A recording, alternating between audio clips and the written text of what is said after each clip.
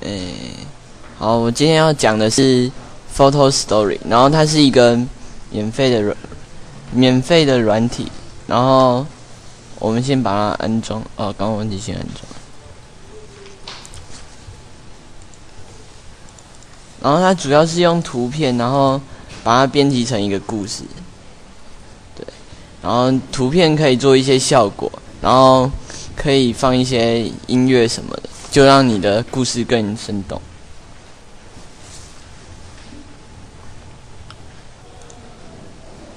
然后我们现在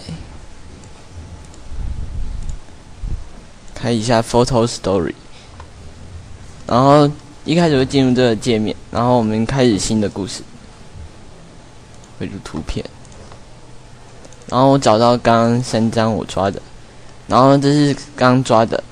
然后它可以移除黑边，移除黑边就是你看这图片有那种参差不齐的大小，然后它可以把它给消除，所以我们就用移除黑边给大家看看啊，这个太小了，所以它一定会有黑边，所以所以我就就我就调整一下它的大小。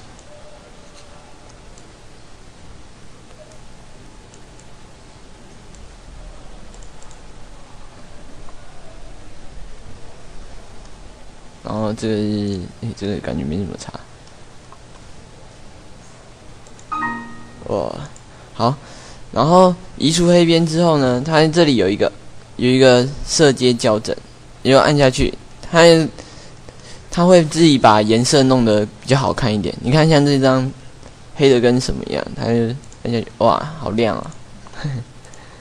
然后主要是这里之后，这里进来。你按这里有一个编辑进来之后，它有一个新增特殊效果，然后你有看到水彩，然后它就会变成水彩。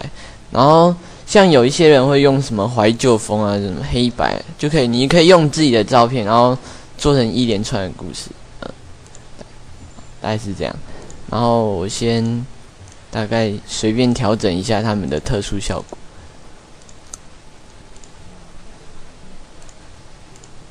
然后可以用个彩色铅笔，而且这个看不清楚。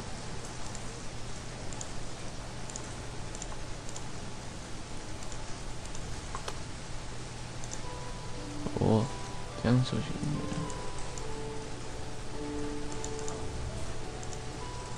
哎，这个好黑。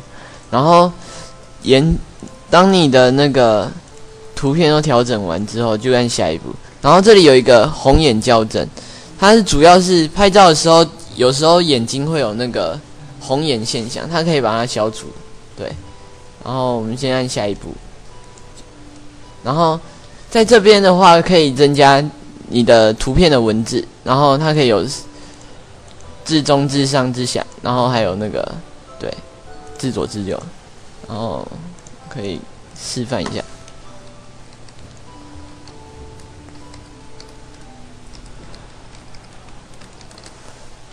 然后这里你可以有看到，这里可以调整字形大小，然后我们可以选个什么什么奇怪的字形之类的。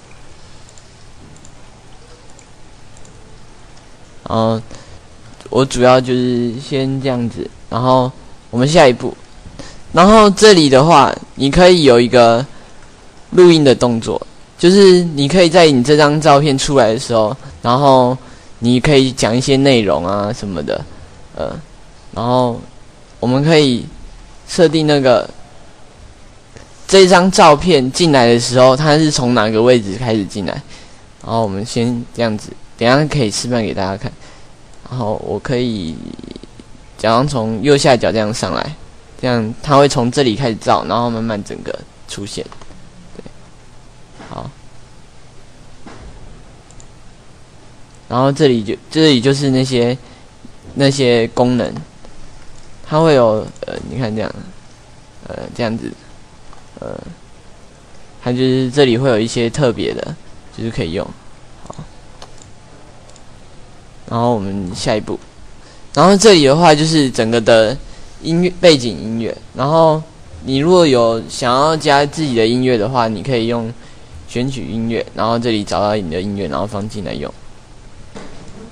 然后大概就是做到这里，然后你就看你是要储存的故事，就是你找到你想要用的储存方式，然后我们把它先存起来。存起来之后，我们可以按检视故事，然后你就可以有刚刚的那个你刚刚的做的效果，对。然后对，大概就这样吧。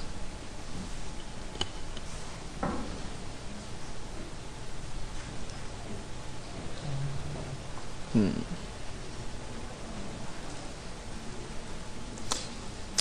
因为爆炸被抢走了，就只能出。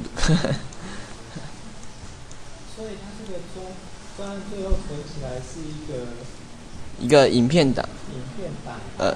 它没有存成专案档。可以，可以存成专案档。对。